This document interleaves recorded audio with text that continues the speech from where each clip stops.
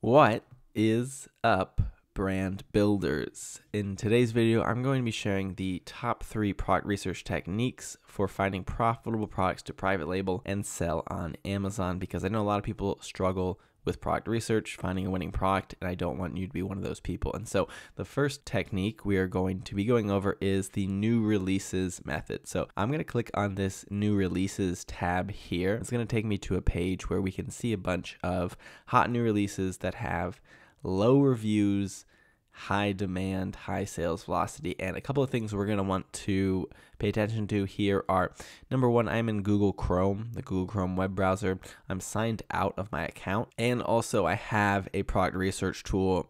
In this video, I'm going to be mostly using Jungle Scout. All right. And so there are a lot of categories we can look at over here. What I would recommend is looking by department on this left sidebar over here.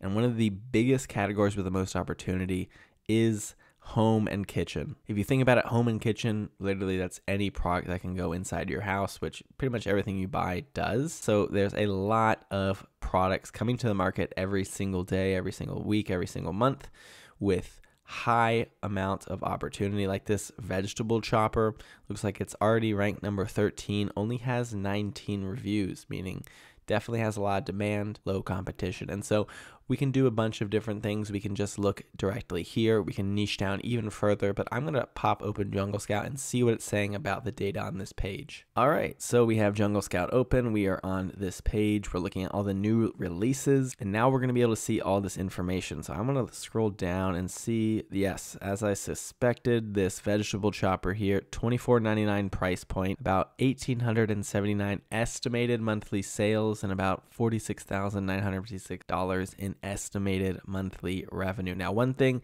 I do notice is Jungle Scout tends to estimate the revenue on the higher side. If you use something like Helium 10, AMZ Scout, sometimes they'll show you lower numbers. So what you can sometimes do is just take the difference or just look at this and with a grain of salt and be like, all right, but usually that doesn't matter too much. Now, let's talk about what matters for all of these data points and all these analytics. So we can see here on the left-hand side the product name, we can see the brand name, the price, and what I'm looking at, I'm initially looking at what the product type is. So if you follow my channel for any amount of time, I talk about the backpack method, finding simple, small, light products that are harmless, uh, that have a good potential for profit, have high demand and low competition. So if we look at something like these dish soap dispenser with sponge holder kits, right? These are just sponges with some type of a plastic piece that holds them and that's very simple. Very hard for this product to go wrong.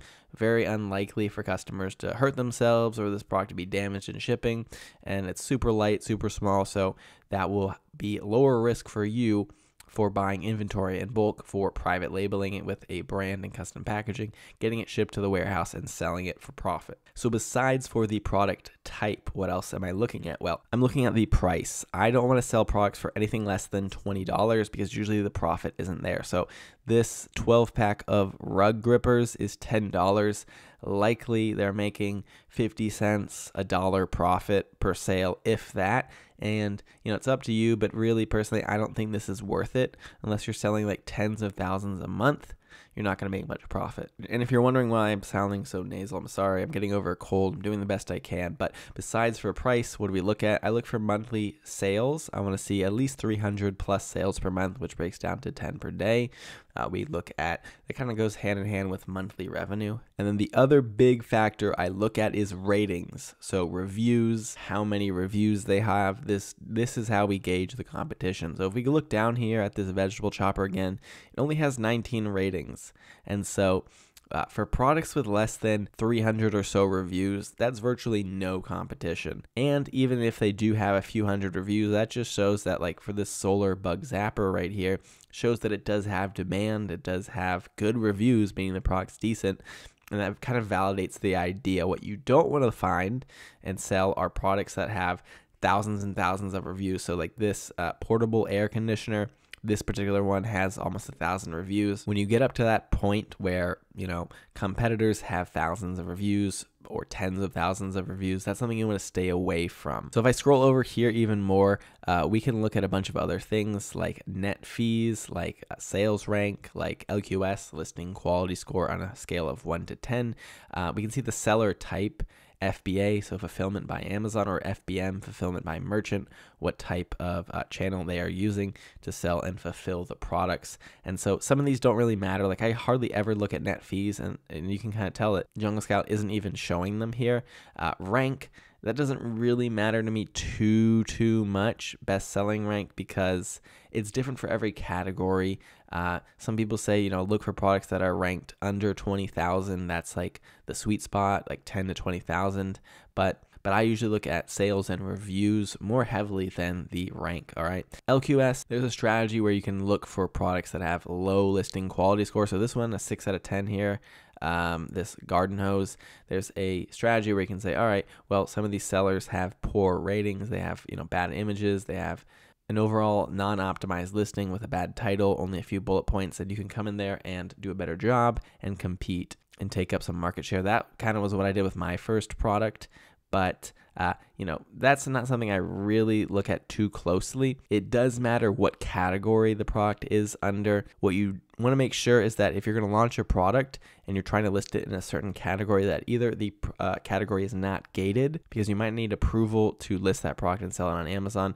and then it's not a restricted item. So there is a list if you Google restricted products on Amazon, certain things you can't sell or need approval, you're going to want to be familiar with that. So, what I would recommend is going kind of case by case, looking at each one of these individual products, take a look at what the product type is, look at the monthly sales, look at the amount of reviews and ratings, and dig a little bit deeper. You might even want to open up the listing. So if we go up to that vegetable chopper that I liked, if I click on the image, here we can see the product listing. We can see what brand it is being sold under. We can see all the details on the product. We can get a better idea for what it is.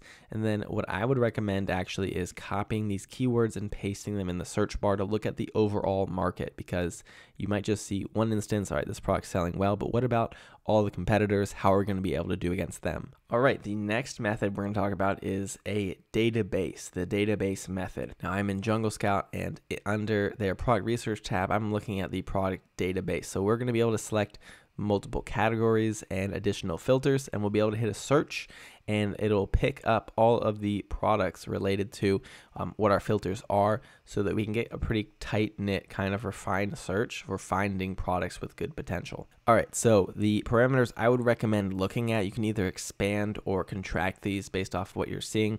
Uh, I'm looking at home and kitchen, kitchen and dining, office products, and arts, crafts, and sewing. I am looking at products priced between 20 and 50 dollars so we have good room for profit but it's not so highly priced that people need to think about it. Um, we're looking at products that have 300 reviews or fewer. We're looking at products that are getting at least 300 sales and a maximum of a thousand sales per month. So i'm going to hit search and it's going to pick up all the products related to um, this query. So here we go. We are seeing uh, 50 out of 7,675 products that fit this criteria. We're seeing um, we're seeing yarn, we're seeing remotes, we're seeing these wooden sheets, and so all of these products will fit what we put in. I actually think I forgot to mention, um, maybe I did mention, but we're looking at products that are two pounds or lighter.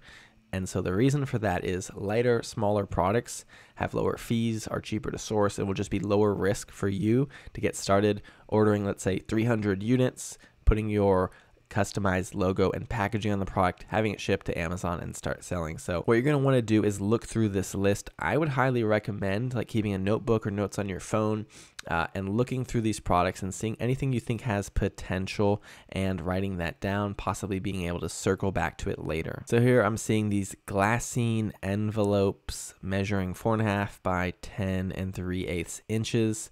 Uh, I'm seeing that the main image is absolutely horrible, but somehow they're getting almost 10,000 a month in revenue, 300 sales per month. Price is good, 28.89. Uh, they only have nine reviews, which is insane, and it's a half a pound product. And I can see, well, actually, they have a lot of different variations and some of them are doing pretty good. So this would be a super easy product to customize, put some custom packaging. You see how they have their brand name. It's terrible job of private labeling, just their brand name there. Guard House. If they were to get colorful packaging, if they were to get a cool logo, uh, if they were to look at some of the maybe the negative reviews of some of the other products, um, fix that, maybe offer more quantity, different sizes, different shapes, they could offer literally endless amounts of variations for these uh, envelopes and it's a small simple light product has good demand low competition and that way you'd be able to carve out a nice chunk of profit in this particular niche. All right, and the third and final product research technique I want to talk about is called the alphabet soup method. And how this works is up in the search bar, I like to type in an adjective, uh, something that's very broad that a lot of products could be under. So let's say silicone, wooden, plastic, disposable, anything like that. So if we type in silicone, uh, we have that initial keyword there and then playing alphabet soup. So going down the list of A and seeing what pops up, silicone air fryer liners, okay? Going down next to B, seeing what pops up, and continuing down until you see something. Ideally, you don't know what it is, and you could take a further look. So, something you want to know is usually the products up here at the top of this search box are going to be higher in uh, search volume and the ones lower are going to have less search volume. So I'm literally going to pick anything. Let's look at this silicone baking pan. And so what we do is for this method, we start with this alphabet soup method. Now, no one else is looking at this. This isn't looking at new releases. This is not looking at any database. So this is completely random. And so you're going to get ideas that no one else has. But we do not end here. We don't just say, oh, silicone baking mats. What you want to do is look at some of the top here. So this one, Amazon's Choice, I will click into it. And then we're to combine another product research method I call the rabbit hole method. So looking at an initial listing and then actually coming over here under the buy now button, we're going to look at who it's sold by. So it's shipped from Amazon uh, and then it's sold by Do Do Smile. So if we click on that seller name, then we're going to see um, a little bit of their information. Now, this is not their storefront. If we look at their storefront, we're going to get different info, but we actually want to scroll down. Um, we want to look at see all their products. So we're going to click on this, and now we can see every single product this seller account is selling. They have 12 results. They have one brand, and I noticed it was a Chinese seller, and sometimes they have funny names. So this would sound like Ass Chef. Not sure what they were thinking there, but we're going to see all their products that they're selling. And what you're going to notice is this particular seller is definitely in a single niche, this silicone bakeware.